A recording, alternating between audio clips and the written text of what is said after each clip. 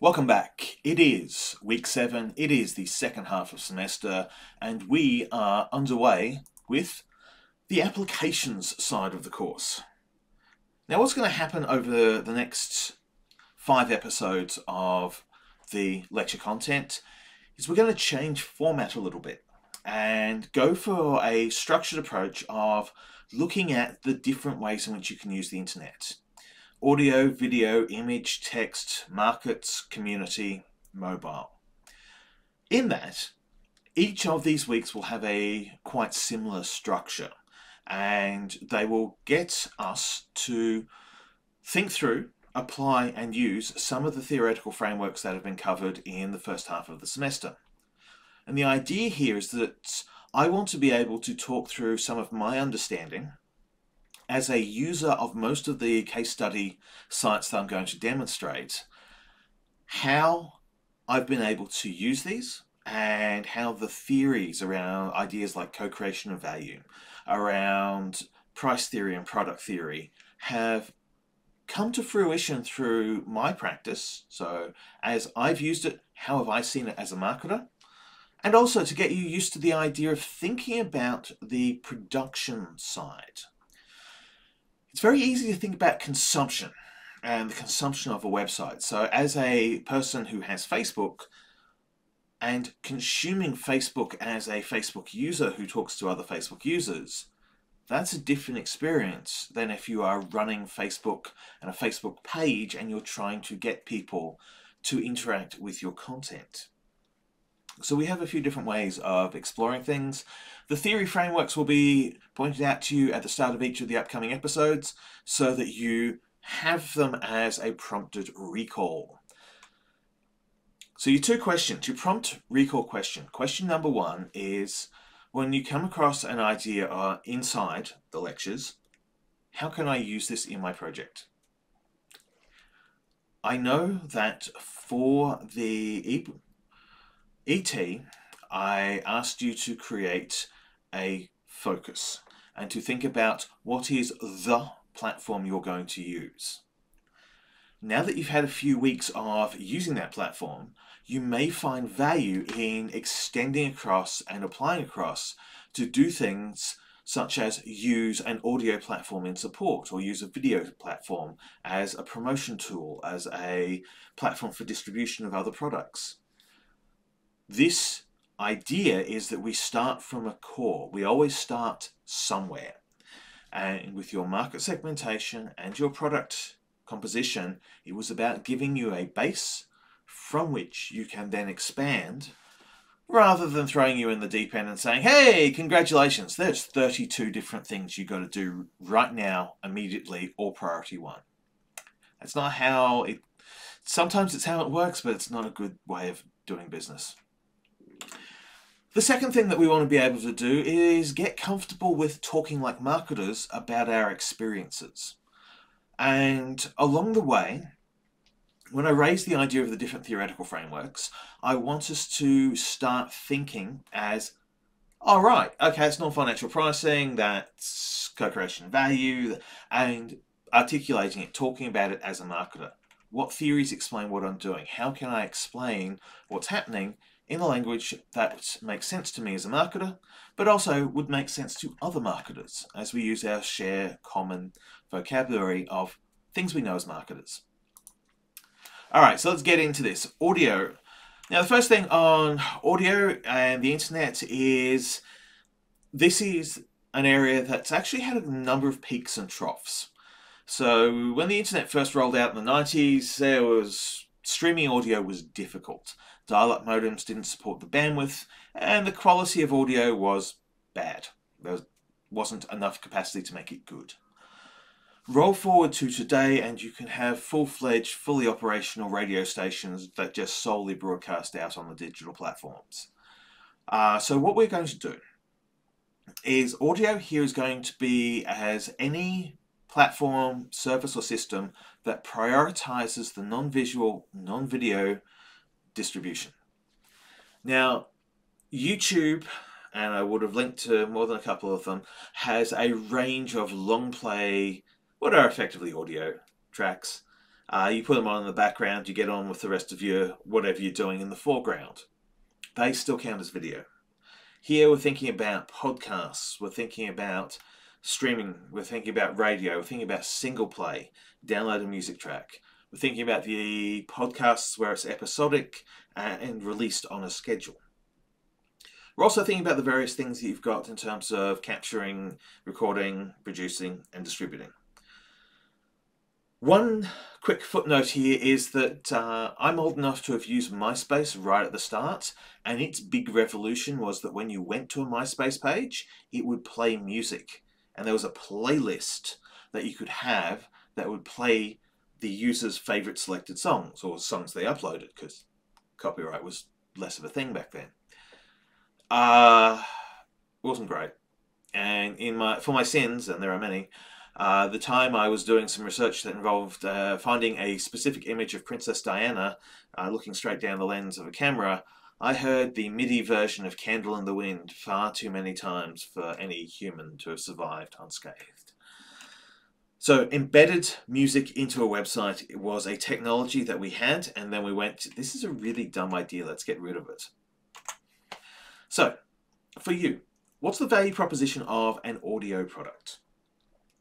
For me, a soundscape is something you can build uh, around and to enhance your own personal, and then I think a personal self-service scape. One of the challenges I face every time I record these videos is that I record them in silence. Whereas for the rest of my operational day-to-day -day work, with the exception of when I'm teaching or I'm recording content, I'm usually there's usually some form of music playing in the background.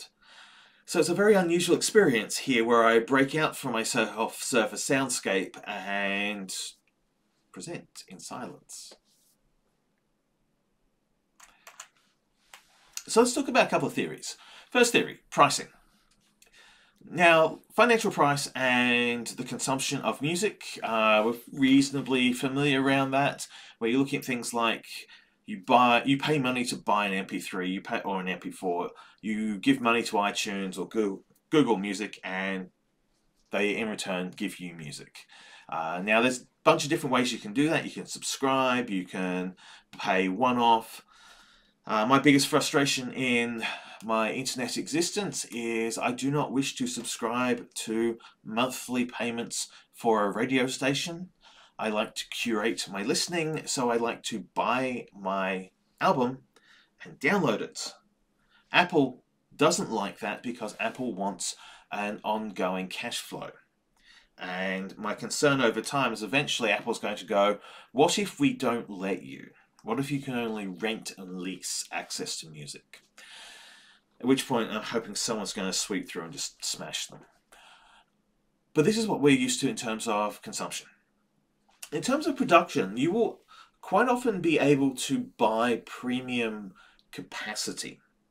So if you are looking at the production, you're a musician, you've got a band or a solo project, and you create your music, you want to be able to share that music out to the community.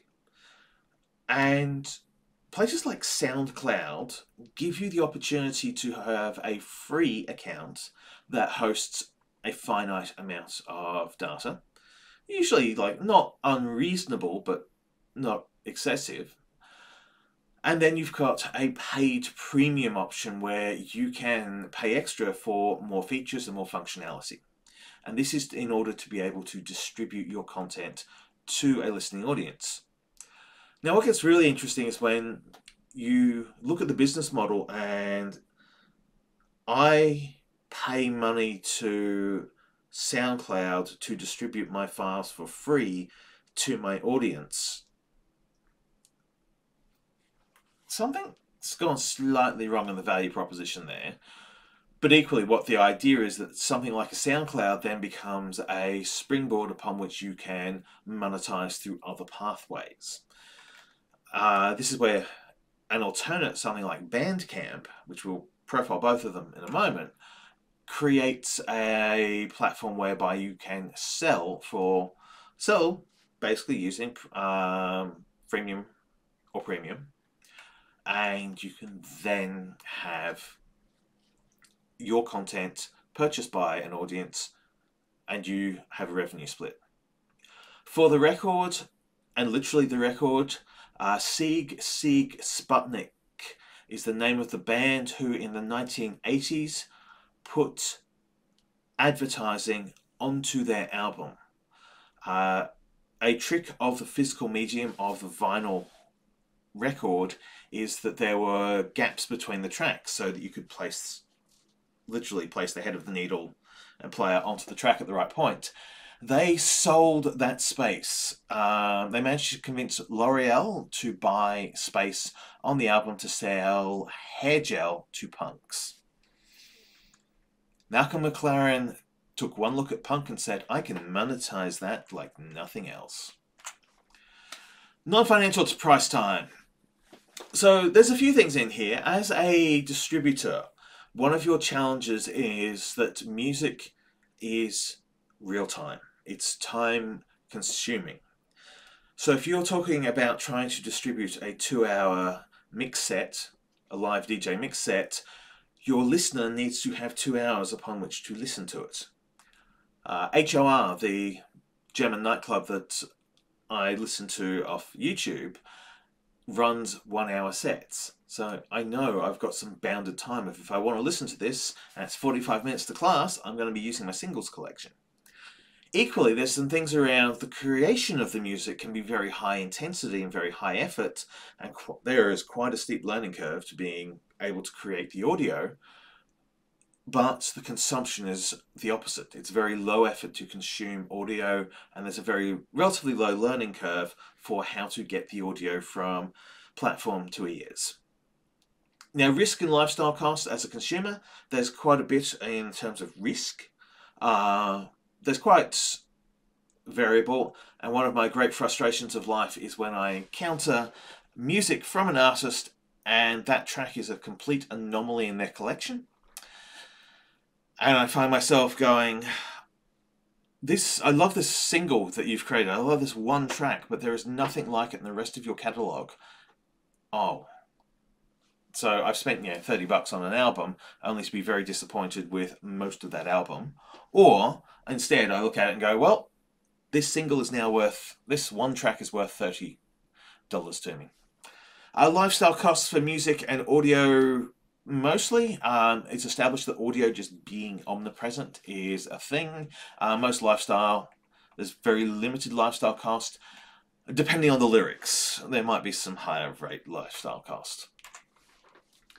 Now, in terms of distribution, there's one of the things that's really interesting here is that as an audio function, uh, it took me three years to figure out what convertible intangible was. And sheet music that you play at home, you print out the notes and you play it along on your own equipment. And as opposed to functionally, most of what we deal with in audio is closer to digital tangible. There's a lot of work around MP3s, MP4s, downloadable files, files that you then transfer to devices. Uh, a CD is basically a convertible intangible, transportable tangible. Uh, I was thinking convertible intangible because I was thinking, oh, you just burn your own CD because I'm old. Uh, these days it'll be more like load up the phone and then stream to the in-car Bluetooth or but that's still file and it still takes up hard drive space. So it's very dominated by digital tangible. In the interim, uh, we have a few other things. The mediated intangible. Now, the music that starts the opening of each episode of content in this subject is licensed and it's licensed through Envato under a mediated intangible. I have the temporary right to use that audio. And it's a really interesting challenge as a marketer because uh, in my YouTube project I use a lot of short audio from to create different content um, experiences. So I have a number of mediated intangibles. As a producer, as someone who has created music and made my music available across the internet, my biggest challenge is the impermanence of my distribution channels. Uh, mp3.com was where I had most of my music stored. mp3.com no longer exists as a music broadcast service that was designed for indie and solo artists. There were a lot of problems. Lots of things went wrong there. Uh, not least of which was the major labels smashed it into the ground and then burnt down the ashes. But functionally, distribution here, what you are interested in is either can I get it as a license through mediated intangible, or do I have the capacity to have my files and my musical infrastructure stored somewhere that can then be on-sold to my target audience? So let's talk about case studies. Uh, I've mentioned a couple on the way through. I am a big fan of SoundCloud. As a producer of music, I have liked the way SoundCloud operates. Now, one of the things I should say for audio is that this has some of the biggest challenges when it comes to copyright of anything anywhere. And that's because the major labels, major music labels, recognize the business model threat that SoundCloud, Bandcamp, and these other independent publication platforms present. And the challenge for USA marketer is a channel like SoundCloud enables you to self-publish. And you can self-publish anything that's audio onto there. There's a niche for it. If you know your market, you know what they're looking for. You can pay premiums to get better publication, better publishing options. But also, one of the things that SoundCloud did really well at the outset, but doesn't do very well at the moment, is it had a much better music recommendation infrastructure through hashtags, through uh, the ability of the audience to tag content and suggest and to leave notes in uh, tracks. Of course, that got abused. That's why it's gone away to some extent. Uh, but also hashtag based uh, musical distribution. Music is one of the hardest places to do product positioning because there is so many different ways in which to describe music, so many subgenres. So curation in music is actually much harder uh, from a product perspective. So an MP3 is an MP3, an MP4 is an MP4. They don't change. But the difference between heavy metal, nu metal, baby metal, hair metal, those aren't genres I even listen to. So that there, I don't listen to metal. There are four genres that I can name out of there, compared to say, trance, hip hop, house, Chicago house, Detroit house, happy house. Each of these genres is a positioning strategy as much as it is a product descriptor. So being able to suitably position yourself in the right genre so that other artists who are comparable to you are within easy reach is actually very much bringing up the wheel of retail, the retail uh, theory of the magic mile um, in retailing, where you do retail clustering of stores of a similar nature co-locate so that you're building up a bigger chance at tapping into that overall demand. And this is why all the restaurants are together in the same physical location, all the fashion stores are together in the same physical location, is that you want to bring a consumer who has a need for something that you and your ally competitors around you all serve so that you have a better chance of getting that customer. Same for music. If you're in the genre, you want to support other artists of the genre and be supported by them and be easy to find because someone who likes uh, UK Speed Garage is going to like a lot of different artists in UK Speed Garage, not just the one. So SoundCloud was good at it. They got a little rough and they haven't been as good for curation and discovery recently. Uh, Bandcamp is the second place. I don't actually have anything up on Bandcamp. Um, I've bought a few things there. It's a really interesting uh, wholesaler retailer proposition in that Bandcamp also offers some secondary capacity. So as well as just being able to put up buy my music and buy download my MP3s, it can do brokerage of tickets, it can do brokerage for merchandise. So it's much more of a one-stop shop. Uh, it has an audience discovery function, which is better than SoundCloud at the moment, but that's a bit variable. Uh, it's certainly much better than YouTube for discovery, but much worse for recommendation. It's really uh, an interesting challenge because Bandcamp is much more uh, positioned as a standalone. An artist will refer you back. So it's a retail outlet that's a bit of a specialty store that some will say, hey, go here. So it's got a lot more personal selling attached to it than it does, say, Open Discovery. Anchor FM, uh, this is a channel for podcasts. Now, I am a mid, I'm a middle-aged white guy with opinions. I don't have a podcast precisely because I'm a middle-aged white guy with opinions and all of us have got podcasts, um, it seems, and I want to continue being part of the resistance of not having a podcast. Instead, I've got a YouTube show. But that's not the point. The point is, um, in Anchor FM, the challenge here is that a podcast is very, not very easy to create. A podcast once created is harder to disseminate than you would expect. SoundCloud and Bandcamp aren't very good as podcast platforms because they're not really thought of as podcast medium. So Anchor FM's role here is that this this is a brokerage. It's fee based um, it says all for for free, but believe me, you can top up. Um, you can buy premium here. It's freemium, free, and premium. But also, what it does is that it brokers out your content into other channels, and those other channels then broker back. Uh, so you can get some arrangements here for sponsorship, advertising, and revenue. It's very interesting from a co-creation perspective of how much work you would then have to do beyond once you've got uh, your Anchor account set up, is getting that organic traffic, doing the pull strategy at the front. So Anchor is less of a push strategy, it's more of a pull strategy from distribution and retailing, and they will help you get your content onto the requisite platforms. It's your job to drive demand for that content. Ah, Spotify, everybody's favorite. It is a consumer focus and it has a commercial reseller, uh, TuneCore.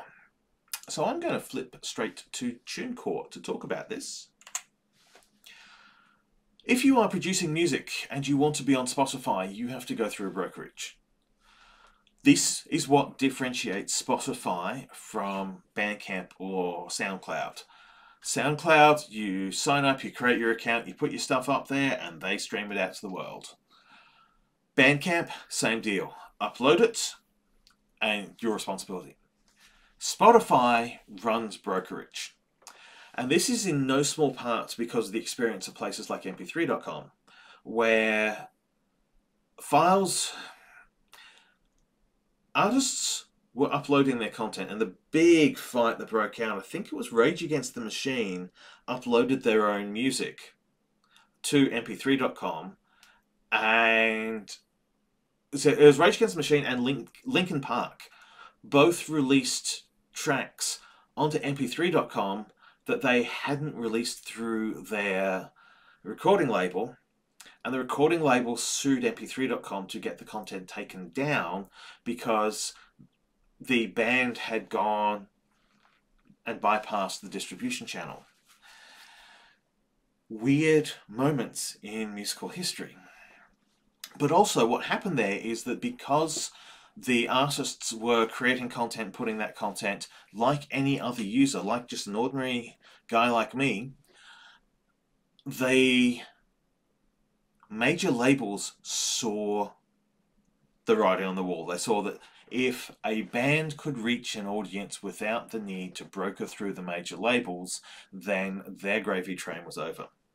So Spotify needs to sign deals and negotiate contracts with the big majors to get access to those catalogs of material. Consequence of which is they want to ensure that anything that comes into them is filtered to ensure that it's not coming from someone who shouldn't be putting it there. And initially, you might be thinking, oh, someone uplo- uploading copyrighted material that they don't own. It's more of the case of an artist uploading copyrighted material they do own, but are under contract for someone else. That's the big thing they're watching for, because that was what killed mp3.com. Effectively, at the end, it became a threat to the big business models. Spotify is still ticking along, bleeding out um, investor money because it's playing nicely with the big major labels who see it as a good way for them to earn more money. Uh, being an artist on there kind of sucks. The amount of money you get is non-existent.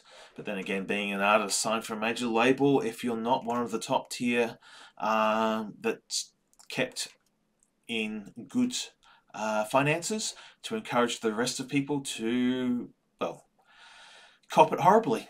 It's a, it's a bad business model. It's a bad world. All right, theory and application. Music is not a place to get rich. Music is a place where if you are rich, you can maintain that wealth.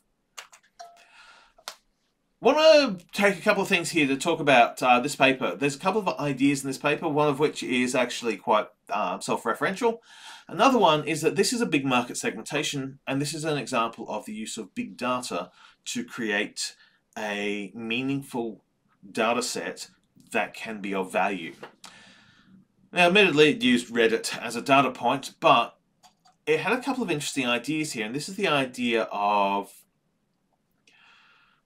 creating the co-creation of extra musical sharing and the way in which value through music sharing also created alternate means and alternate meanings for particular items of music.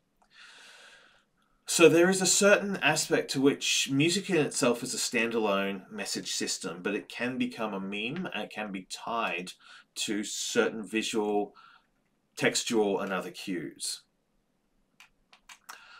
On the other side, uh, when they actually pulled up the data, and I was reading this paper for the, the first time, uh, and they talked about the different things, and it's like older audiences who are more affluent listen to Junkie XL, and I was like, I'm in this picture, and I love it. It's like, that's me. That's literally me. I, um, on that list there is like, oh look, Junkie XL, hi. um, I may or may not have been listening to their remix of Little Less Conversation whilst I was reading this paper. But also the things like the bands that I can see on there that are in my collection, uh, I'm matching up with the market segmentation. So this is kind of like a validation of my particular uh, lifestyle as a thing that's happening. There's also, yes, one of the things you'll find, the longer you spend in marketing, the more often you will have a moment of looking at a piece of data and going, hey, I can see myself from here. Alright, part two of the audio video collection. Let's talk about video. Now, one of the things I will say about video is there's a lot of snobbishness you can do um, about whether it should be done in vertical or horizontal. I'm quite frustrated that we've never really gotten TVs and monitors into vertical uh, as a going concern. So you're never really going to be able to release a TV series in vertical. But we hold our phones this way most commonly. So when we are filming, selfieing, or otherwise, unless we have actively and proactively trained to rotate. But as XKCD says, that's the future and that's the new angle. Also, there is no significant difference between 16 by 9 and 9 by 16. Uh, I have said some snobbish and dumb things in the past about um, how 16 by 9 is the way it's supposed to be done. Uh, the only reason I'm filming in 16 by 9 for all this is that I'm targeting desktops and laptops as my primary distribution channels.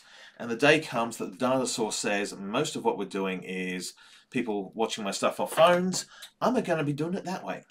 I don't feel that there is a inherently better.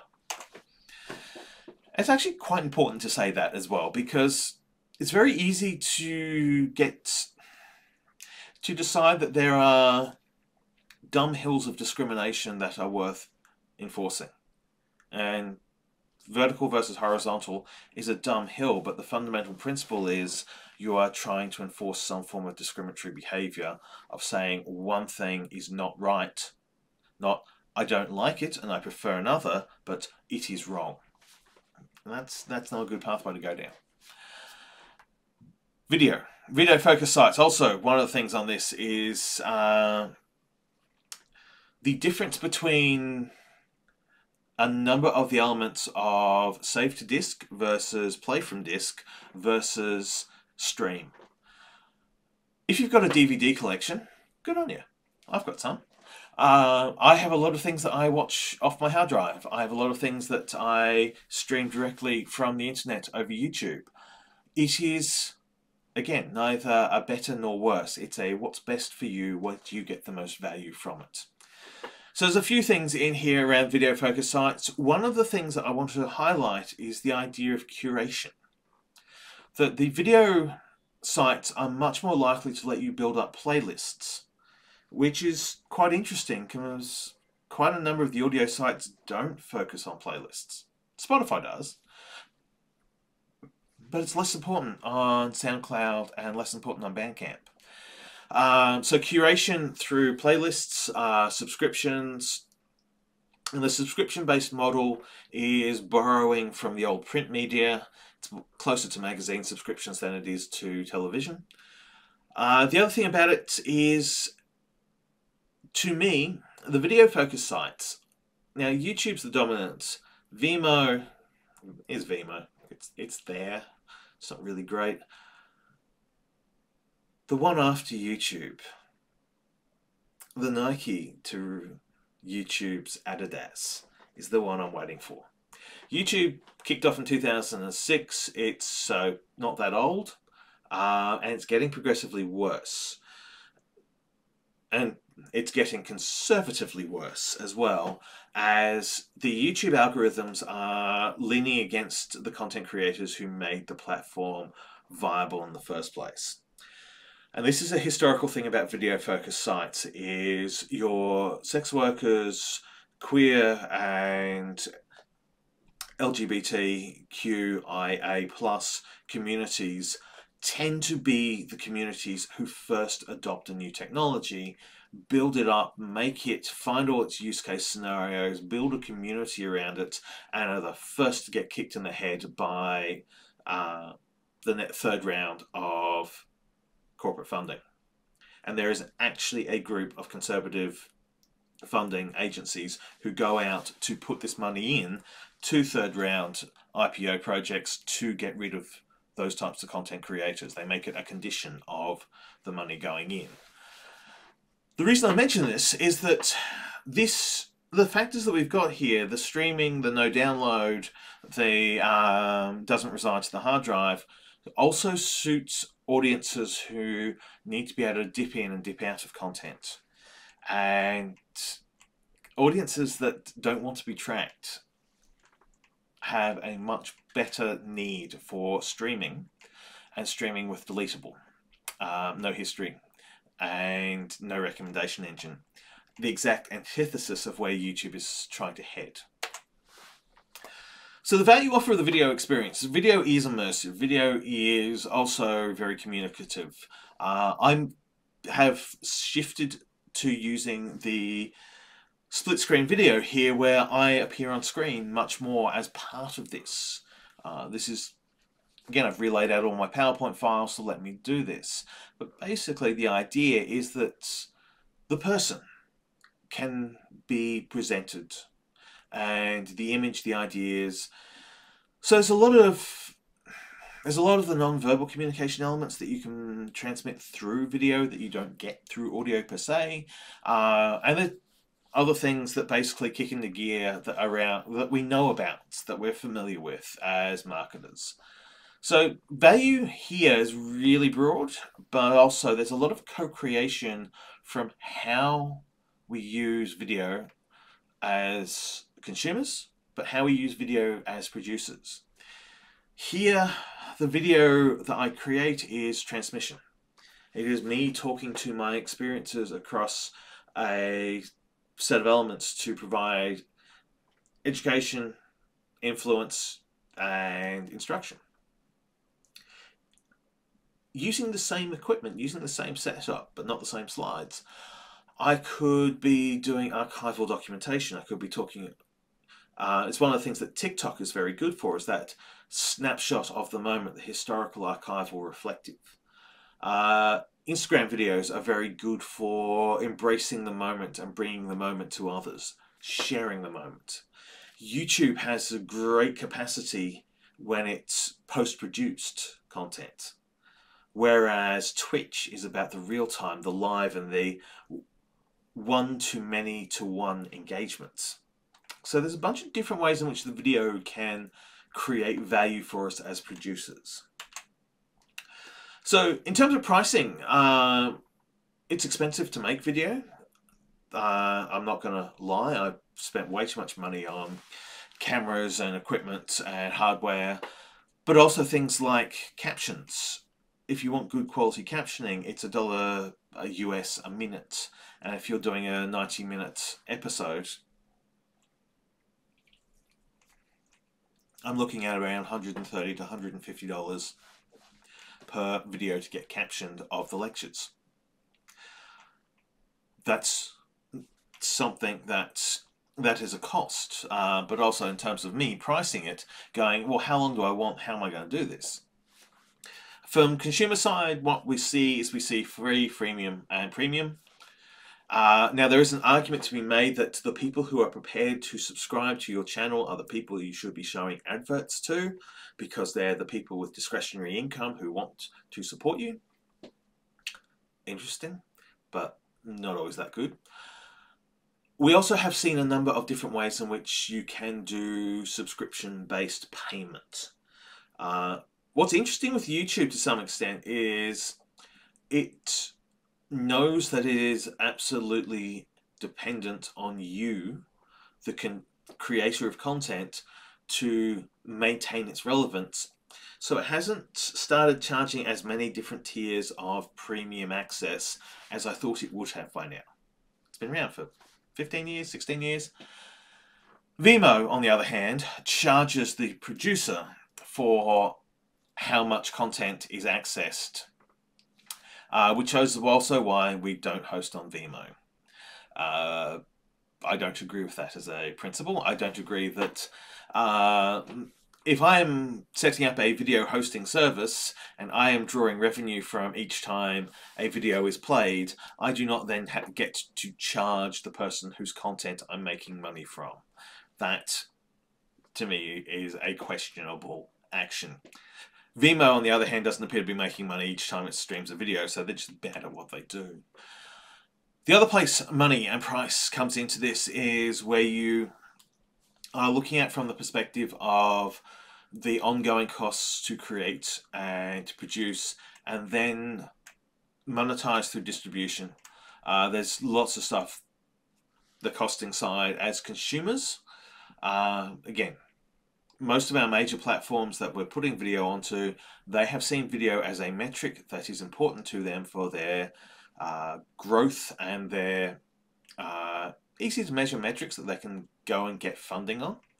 So they haven't started charging for the distribution. But I suspect yet is the key word there. All right, non-financial price considerations on the consumption side. It's real time to watch Oh my god, is it beyond real time to produce? So, to edit one of these lecture videos, the week one lecture, the AutoCut software that I use to cut out uh, these long spaces, these long spaces, the and the pauses and the dead air, it ran through um, in, it took 15 minutes to edit out those spaces from a 90 minute video. The consequence of that many cuts is that when I went to render my 90 minute video is it took three hours to render. So it's well beyond real time. I can sit here to a camera and talk for 90 minutes straight, throw that straight to YouTube and be done with it. But if I push it through any form of editing, I have not only the real time of me producing the original, I have the post real time production, which on average, on my own personal YouTube show, where the episodes are around 15 to 20 minutes in length, it takes me about uh, a day and a half to edit. Uh, it's all post production, cutting down things, editing things, creating elements. So it's well beyond real time. It's a massive time effort. Uh, same for effort. I'm quite the veteran of using this software. I've been doing video editing since the 1990s. Uh, I'm using platforms I'm familiar with, and it's difficult. It is time consuming and it's challenging, and there are things that I have learnt this year because I started creating a YouTube channel that I didn't know last year when I was recording this stuff. I'm recording the current lecture in 2023. The uh, other thing on this, uh, in terms of energy, is uh, for all of you who've come off the back of a Zoom meeting, I'm so exhausted. It's talking to a, a camera is a very strange energy drawing experience, but it's definitely high energy.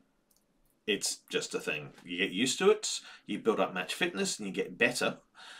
But the first couple of videos that you do to camera are exhausting and then the 35th one in this semester, either you're too tired to care or you've built match practice. Now, lifestyle. Uh, this is something that's kind of interesting here is the idea of the video creates the parasocial connection, the parasocial communication, which also drives the idea of the micro celebrity and the public profile. It's okay to not want that. Uh, I'm an egotistical guy. I've got um, 25 years of being in the public eye.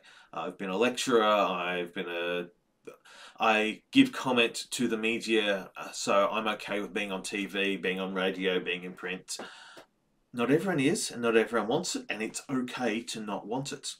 Equally, it's okay to use you know, just your voice or do other ways that the video can be produced uh, that don't feature you on screen so that you aren't having to put up with the things that go with it. But, you know, as you might have noticed, um, every season I give lectures to students. So for the past 20 years of doing this, I've built up quite a catalogue of people who can recognise me on the street now. Last thing, risk. Uh, there's a lot in video production. Everything from, well, every aspect of risk is there, but in particular, the two I want to emphasize is the social pressure of second guessing yourself as you commit yourself to a, semi permanent to permanent medium, and the functional risk that the video you record doesn't work, it doesn't go the way that you would expect it to. Or it doesn't look right, or the audio's wrong, or you've spoken for 90 minutes and it wasn't recording. All those are functional things, those are all uh, challenges. And the distribution aspect. There's one of the things I've mentioned the mediated the mediated intangible because that little trailer that we run at the start of these uh, lectures comes from remixed footage that I've got through my Envato license. Uh, there are a couple of things. I don't think you can print video out. It's always been fascinating. Uh, very early in the days of when we first transferred to Wattle, and we were talking about how much space we needed on a learning management system, I said, look, I'm going to need more space than you're giving me. Uh, and so I said, well, what do you expect students to print 20,000 pages out? I don't know how you print video, mate, but I don't think that's it. Uh, technically, 8mm film is printed video, but that's not the point. Now I want to see if I can do it. Uh, you have things like the transportable tangible. You can still move this to a different medium. You can medium shift, uh, so you can take this recording, stick it on a USB, play it somewhere else. Equally, if you had the right equipment, you could turn this digitally created recording and stick it onto a VHS tape I don't know why you'd want to do that, but you could. It's there for the taking. Lastly, digital, most of the time when we're thinking about video and we're thinking about the internet, we are thinking about the digital intangible and we're thinking about it from the perspective of streaming, like a Netflix or a YouTube. Whereas when we're on the production side, it's very much the digital tangible.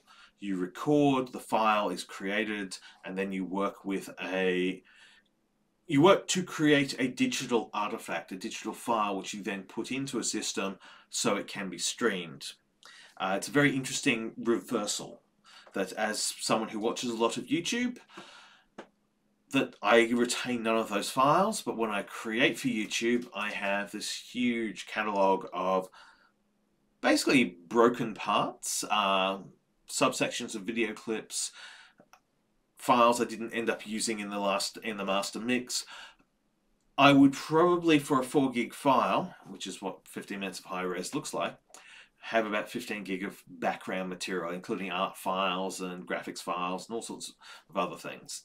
So there's a lot more on the digital tangible on the production of a video than there is on the consumption.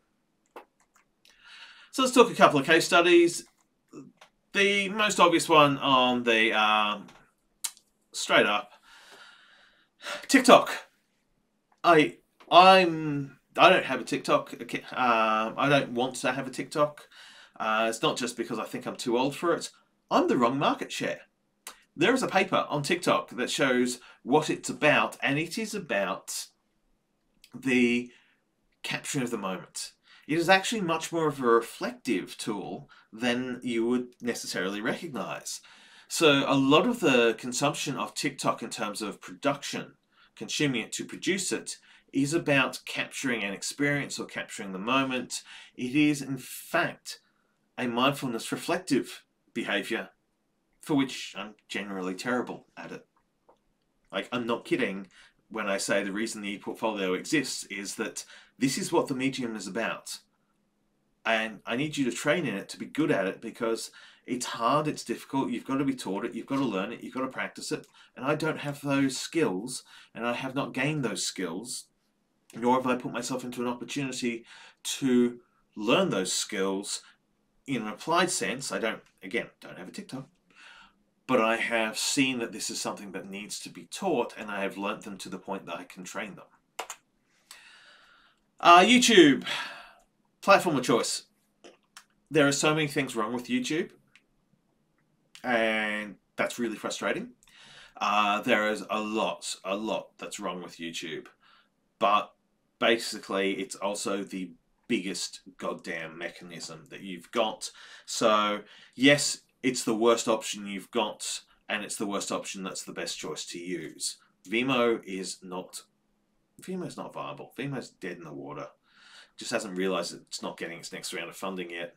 TikTok, well, there are constant cries to go and have it shut down, put away, banned, removed from um, Google Store and iTunes. TikTok, when it falls, we'll just see all the same problems being identified on YouTube, and people will want to get rid of YouTube. The two biggest threats that these things create is that they create mechanisms by which the average punter can create and distribute their own content, and that's more terrifying to the major labels and the gatekeeper distribution networks than anything you could imagine. Now, from a co creation perspective, there's a lot of stuff around YouTube to be a facilitation mechanism for us to go prosumption. Um, I think prosumption in YouTube is brilliant. But there's also a downside. There's a lot of things that are wrong with the algorithm. There's a lot of barriers to letting content that is legal, morally acceptable, socially supported, publicly high profile, and publicly supported. There is one gatekeeper filter mechanism, which is YouTube, and it operates behind a bunch of unknown, unknowable algorithms, which is automated stupidity coded and coded hard by Google. Very frustrating. Twitch, equally, um, it's broken. is absolutely broken. It has got so many problems with copyright strikes. It's doing some really dumb things regarding interruptions, uh, forced interrupts with advertising that the uh, Twitch streamer cannot control. And it's something that's really frustrating because the idea that the Twitch management at Twitch sees Twitch being used in a certain way and it codes the platform to facilitate the way management sees it being done. Whereas the co creation of Twitch and the different various ways that Twitch has been used and reconsidered and reimagined doesn't mesh with what the Twitch code base um, and the Twitch ma uh, management base thinks.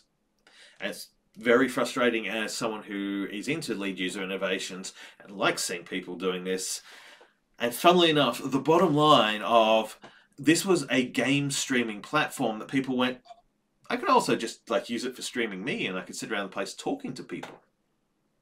So the just chatting genre was not an intentional initial design of Twitch. It's one of its biggest elements now. Uh, there's lots of problems. Again, Twitch, similar thing. Lots of problems, lots of gateway barrier problems coming from Twitch being one of three major distribution outlets that is controlled opaquely. Uh, again, it's democratized it to an extent, but it hasn't completely cleaned it up. And also, there's a bunch of dumb decisions that get made to pre proactively or preemptively block content that isn't a problem. Um, again, when we look at who's pulling the strings, who's funding and doing the investing, these channels should be better than they are. And they've got every right to be better than they are. Technologically, Twitch and YouTube are absolute technological marvels of the modern era. They are the pyramids and the Great Wall of China of contemporary technology. They are just huge infrastructure elements that are phenomenal. But if you imagine that in 50 years' time we're going to still be talking about Twitch, it's hard to imagine compared to however many thousand years all these other pieces have been up. These are phenomenal, foundational, but also they are the beginning. This is the starting point. Twitch isn't that old. So there are better versions of it out there yet to be developed and yet to show up. Because that's the other thing to remember is that I always talk about the idea of Adidas and Reebok and Nike. And this is a history lesson briefly on the way past. Adidas dominated the sports shoe market. Its rival was Reebok. They were the one-two. They were the unassailable duopoly of sports shoes, and then Nike came through and murdered both of them in their sleep and took their market share. I look at your Facebook and Twitch and YouTube and all these pseudo monopolies and think you're going to get done by the, the Nike. The technological Nike is going to come through and absolutely clean house on you. You are not that you are Reebok. You are the Reebok of the internet. And Twitch is the Reebok of live streaming. We haven't seen its successor yet, but its successor will be phenomenal. All right, theory and application. One last thing to talk about. Uh, this is what I mentioned, the TikTok article. Geez, talk about getting called out by an academic paper. The drivers to use TikTok, archiving and self-expression to preserve a sense of the presence. I do not have an archival behavior pattern and I don't like archival, I don't like the archival aspect. Uh, the best way to describe this is for all of you who keep diaries, I have amazing respect for you. But I don't even keep a to done list anymore. My to do list is always written in erasable so that when I'm through it, I can just scrub it out and don't look back. I believe very much in perfect is the enemy of done, done is the ally of getting to the next point, and you just put the foot down and keep going. You don't look back. And to quote the to quote a certain Edna Mode, I never look back, darling. It distracts from the now. Very much, I don't have the archival behavior. But I could never understand. I was getting really frustrated by TikTok because I was thinking, oh my God, I've turned into an old man. I don't get it. And it's annoying me that I don't get it. Then I realize the reason I don't get it is that fundamentally it facilitates a behavior that is absent from my lifestyle. I barely use save files. so, with that in mind, it is the episode done. If you need me, you know where to find me. Welcome back to uh, Series 2 of eMarketing 2022, the year, and eMarketing MKTG 2023, the subject. And that is that.